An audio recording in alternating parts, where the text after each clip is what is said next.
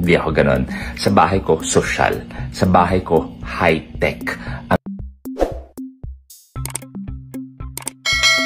Luis Manzano may nakakaaliw na naman na video, na sobrang kinatutuwaan ng mga netizens. Ngayong araw na ito ay nagbahagi si Luis Manzano sa kanyang Instagram account ng isang nakakaaliw na video, kung saan ibinida niya ang kanyang pagiging sosyal. Saad pa ni Luis sa kanyang caption sa nasabing video. Wala akong magagawa kung sosyal talaga. Marami namang natawang mga netizens sa video na ibinahagi ni Luis Manzano, bukod kasi sa kilala itong napakagaling na host at aktor, ay kilala din ito sa kanyang pagiging komedyante. Narito at panoorin natin ang kabuuan na video. Hi guys, eto na naman ako.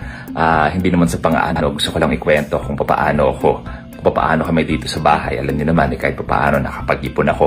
Um, eto sabihin ko, ang ibang mga bahay, ang ginagamit nila panlaban damit nila, ay ang mga washing machine, yun ang panlaban nila. Yung iba, meron pa mga dryer.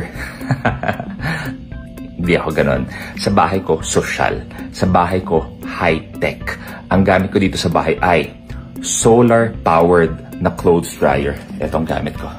Yan, solar-powered to social kami dito. Etong maliliit na to, eto, itong piraso na to, ay galing sa Switzerland.